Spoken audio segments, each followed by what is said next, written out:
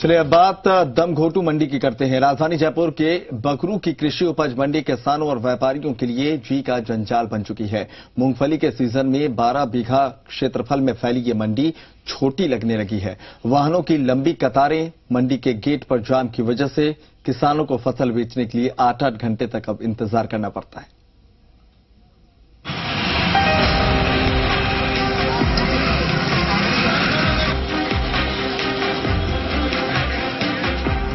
राजधानी जयपुर से महज 30 किलोमीटर दूर बगरू कृषि उपज मंडी की ये तस्वीर देखिए।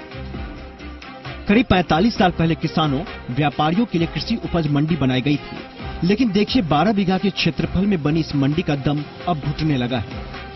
मंडी के गेट के बाहर लगा लंबा जाम, किसानों की लंबी कतारें, हर रोज आम लोगों के साथ व्यापारियों और किसानों को मुश्किलों से जूझने के लिए मजबूर करता है।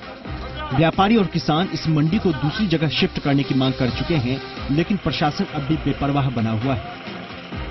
ये जो अब प्लेटफार्म बनके तैयार हो गए किसानों के लिए ये भी नहीं थे पहले। और अब उपज बढ़ने लग गई। बहुत ज़्यादा यहाँ मूंगफली के सीज़न में बहुत बड़ी समस्या है। इसे आम जनता को और किसानों को सभी को परेशानी है। किसानों का कई बार तो पाँच पाँच छह छह घंटे अंदर आना भी मुश्किल हो जाता है। एक जाम लागे बहुत तगड़ो। ये में दो दो दो, चार चार घंटा लाग जाए और एक बोली मोड़ी लागे છે जो शाम, रात भी जैसे बगरू अनाज मंडी में सबसे ज़्यादा समस्या अक्टूबर से लेकर जनवरी तक आती है, जब किसान मूंगफली की फ़सल लेकर मंडी में आते हैं। मजबूरी में व्यापारियों को मंडी के बाहर जाकर ही उपज की खरीद करनी पड़ती है। मंडी में जयपुर के अलावा नागौर, अजमेर, जोधपुर, टोंक, सीकर तक के किसान मूंगफली बेचने आते हैं, लेकिन उन्हें भी आठ आठ घंटे तक इंतज़ार करना पड़ता है। ये ज़्यादा मूंगफली के सीज़न में होती है, अक्टूबर से लेके और जनवरी तक होती है। उपज बहुत पंद्रह पंद्रह, सोलह बीस बीस हज़ार बोरी आती है।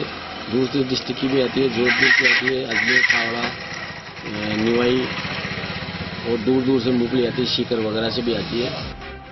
मंडी में ना तो बैठने के लिए पर्याप्त व्यवस्थाएँ हैं, न ही पीने के पानी का इंतज़ाम है। पल्लेदारों ने भी सुविधाओं को लेकर कई बार मांग उठाई, लेकिन हर बार निराशा ही हाथ लगी है। कई बार तो किसानों को मायूस होकर वापस तक लौटना पड़ता है। मैं यहाँ पे सर पंद्रह साल से काम कर रहा हूँ। यहाँ पे ना तो पल्लेदारों को कोई बैठने की व्यवस्था है और ना कोई कलेवा की व्यवस्था है।